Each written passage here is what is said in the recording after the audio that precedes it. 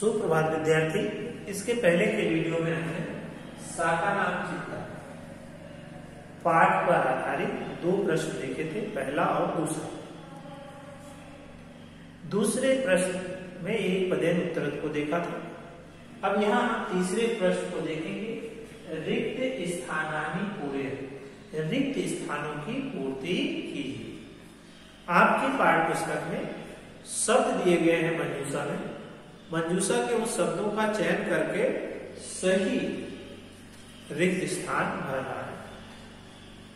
मंजूषा के जो शब्द हैं, गृंजनस्य खनिज पदार्थ है, मस्तिष्कम, करकटे और शाका तो पहला है, स्वस्थ शरीर स्वस्थम मस्तिष्कम। मस्तिष्कम वसत दूसरा है शरीर से अस्थिना विकास भवत।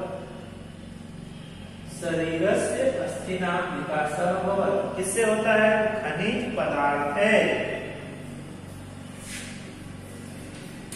खनिज है। खनिज पदार्थ है। तीसरा है हरितानी साकानी अवश्य खाद्य साकानी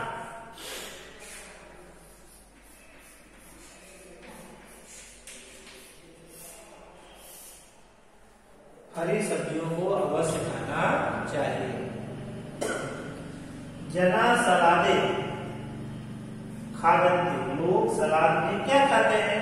यहाँ दिया है करकटिंग कर्क करकटिंग ककड़ी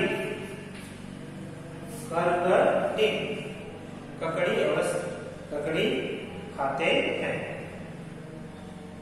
बाला गिरिजनस्य लप्सिका रुच्या खादन्ति गिरिजनस्य गिरिजनस्य लप्सिका रुच्या खादन्ति अगला प्रश्न है, प्रश्नवाचक शब्द बनाना है। उसमें आपको प्रश्नवाचक शब्दों का निर्माण करना पहला है बालका नाम शरीरम स्थूलम भवती। बालका नाम शरीरम स्थूलम भवती, स्थूलम। स्थूलम की जगह प्रश्न शब्द क्या आएगा? कम। क्या आएगा? कम। बालका नाम शरीरम कम भवती तो स्थूलम भवती। बालका इदम रुच्या भक्ष्यंती रुचिया तो क्या आ जाएगा कया। बालका इदम कया भक्ष्यन्ति? प्रश्नवाचक चिन्ह तीसरा तेभ्यम गृंजनस्य लप्सिका रोचते। तेभ्य तो शब्द क्या हो जाएगा? केभ्य।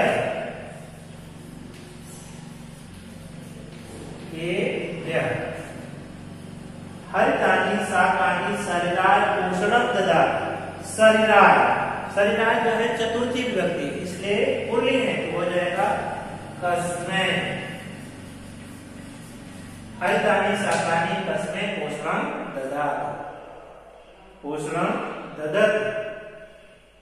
अंतिम शब्द है, साका नाम मध्ये वार्ता भवती। साका नाम मध्ये वार्ता भवती।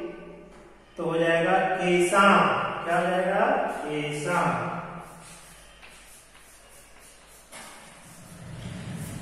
इस प्रकार विद्यार्थी हमने तीसरे और चौथे प्रश्न के उत्तरों को देखा।